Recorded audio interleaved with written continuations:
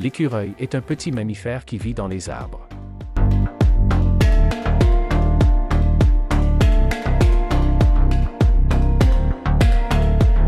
L'écureuil vit de préférence à proximité des forêts de conifères, dont son alimentation dépend en grande part. Les graines que l'on trouve à la base des cônes constituent l'essentiel de sa nourriture, à tel point qu'il n'hésite pas à se déplacer pour profiter de la fructification des conifères. Ainsi, une récolte médiocre peut provoquer des migrations massives généralement de jeunes animaux sur des kilomètres.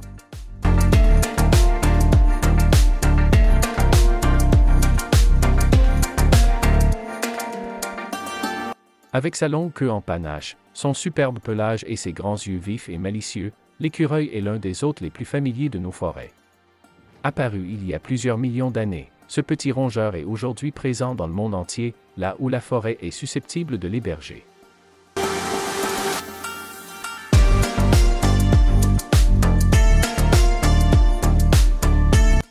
Regroupant aujourd'hui près de 2000 espèces, l'ordre des rongeurs fait partie des mieux fournis et des plus répandus de tous les mammifères.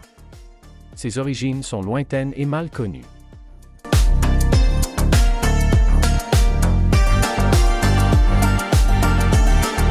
Les écureuils sont légers et leurs pattes puissantes, ils peuvent donc sauter très haut. On peut les comparer avec les puces, qui sont encore plus petites, elles peuvent sauter sur une hauteur de plusieurs dizaines de fois leur propre taille.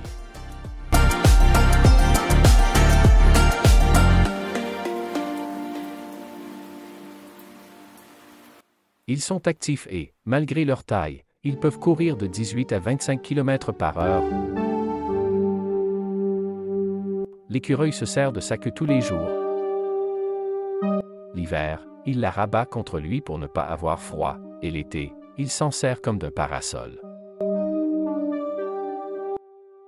C'est un animal intelligent, et il vole parfois de l'alimentation dans les maisons.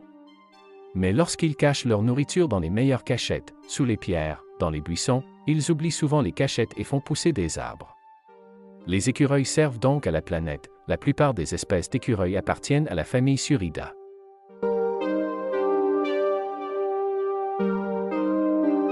L'écureuil se nourrit essentiellement de végétaux mais il peut aussi se nourrir de champignons même vénéneux, dont il raffole. Son régime alimentaire est aussi constitué d'insectes, de vers ou de limaces. En captivité, il adore grignoter des noix et des noisettes. L'alimentation de l'écureuil ne se limite pas aux seules pommes de pin. Il sait aussi profiter de ce qu'apporte chaque saison. Au printemps, il apprécie les tendres rameaux et les bourgeons, ronge l'écorce des jeunes pousses. L'été, il recherche les fruits de la forêt, qu'il s'agisse de bail ou de fruits secs. Grâce à ses dents puissantes, il ouvre les noix comme les noisettes pour en consommer l'amande. Mais il lui arrive aussi de faire quelques entorses à son régime herbivore et granivore, à l'occasion, il peut s'emparer d'oisillons ou d'œufs reposant dans des nids mal cachés ou mal protégés, ou encore capturer quelques insectes. Cette déviation carnivore n'est pas l'apanage des écureuils mais se rencontre souvent chez les rongeurs quand les autres aliments se font rares.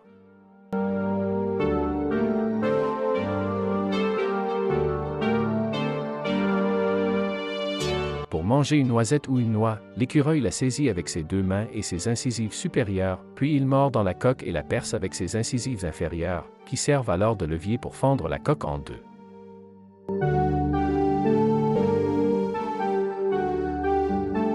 On remarque seulement quelques traces de dents en un point précis. Pour les cônes, il faut remarquer que les écureuils les arrachent, alors que les mulots ou les campagnols doivent les ronger pour les faire tomber. Les écureuils laissent généralement quelques écailles non rongées à l'extrémité opposée au point de fixation du cône à la branche.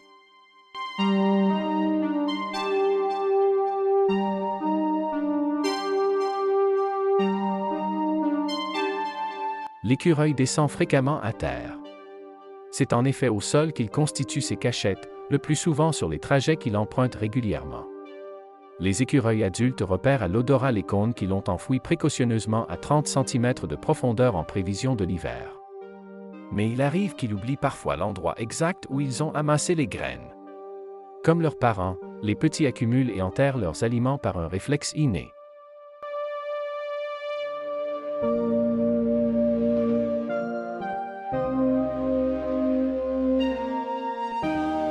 L'écureuil peut encore profiter de sa présence au sol pour ramasser les fruits tombés ou pour cueillir quelques champignons, dont il semble apprécier tout particulièrement certaines espèces. S'il descend, c'est aussi pour s'installer sur une souche, où il pourra tranquillement se restaurer d'une pomme de pin ou d'une noisette. L'observation des restes de son repas est riche d'une multitude d'enseignements.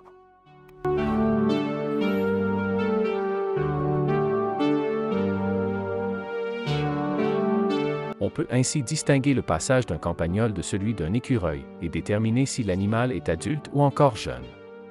Le travail de l'écureuil, en effet, est plus grossier que celui des campagnols. De plus, un jeune écureuil, beaucoup moins habile qu'un adulte, entame le cône par plusieurs côtés ou perce un gros trou dans une coquille de noix.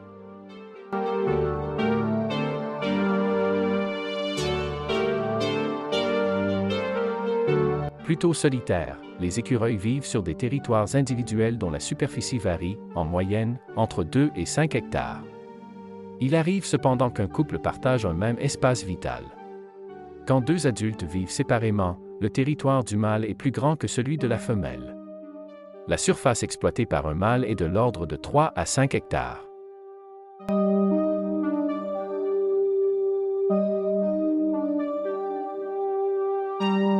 Alors que celle habitée par une femelle est de 2,5 à 4,5 hectares. Si le mâle occupe réellement toute la superficie de son territoire, on observe que la femelle limite son domaine vital à une partie de celui-ci. Pour un domaine de 3,4 hectares, un ou deux hectares seulement seront activement défendus contre un congénère.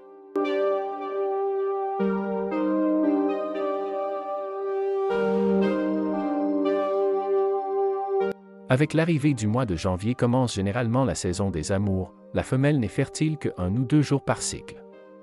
Lorsqu'elle est en chaleur, elle signale sa présence en laissant des traces d'urine et de sécrétion vaginale sur son territoire. Plusieurs mâles peuvent alors entrer en compétition, voire même s'affronter.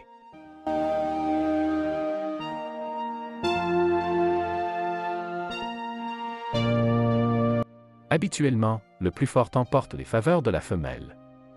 Il tourne alors autour d'elle et se lance dans de longues poursuites dans les branches, ponctuant sa course et ses bonds, souvent spectaculaires, de cris. Au terme de cette cérémonie, la femelle accepte la présence du mâle et l'accouplement peut avoir lieu.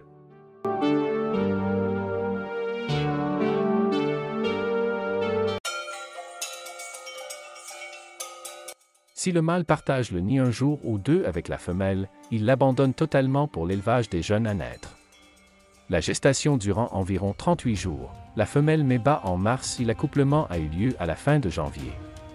Les conditions climatiques sont souvent rigoureuses à cette époque de l'année, toutefois, le nid est bien tempéré. On a enregistré des températures intérieures de 20 degrés Celsius, alors que le thermomètre indiquait 0 degrés Celsius dehors.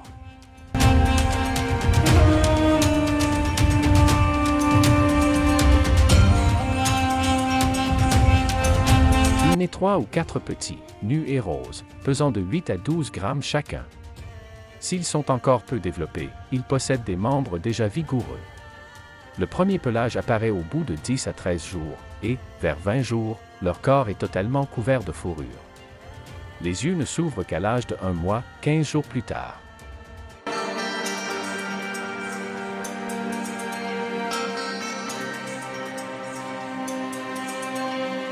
La femelle peut cesser d'allaiter car les petits commencent à explorer les alentours du nid et à ingurgiter leur première nourriture solide. Ils risquent alors d'être confrontés à un problème d'alimentation, les fruits en forêt étant encore rares. Le sevrage est effectif à 8 semaines, et les jeunes quittent alors le nid familial pour s'élancer dans la forêt en quête d'un territoire personnel.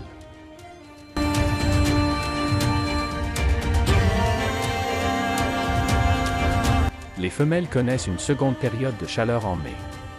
La portée conçue alors naît en juillet. Les jeunes s'émancipent en septembre, époque où les ressources sont plus abondantes.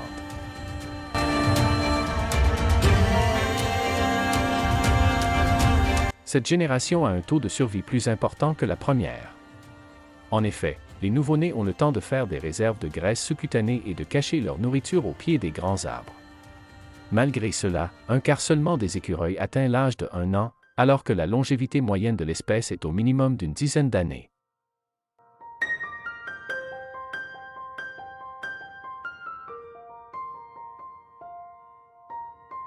L'écureuil est comme beaucoup d'animaux très sensible aux maladies et parasitoses lorsqu'il est affaibli ou mal nourri, ce qui expliquerait que ses densités augmentent les années où la production de glands, noisettes ou cônes est importante alors qu'il régresse les années de disette.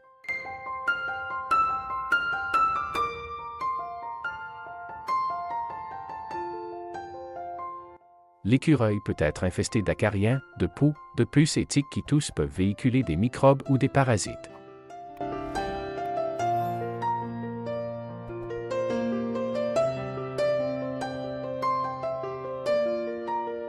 Ses principaux prédateurs sont la martre des pins, qui lui préfère cependant l'écureuil gris, sans doute plus facile à capturer, et l'autour qui le chasse surtout l'hiver.